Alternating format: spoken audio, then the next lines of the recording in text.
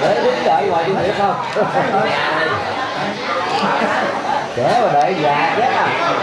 à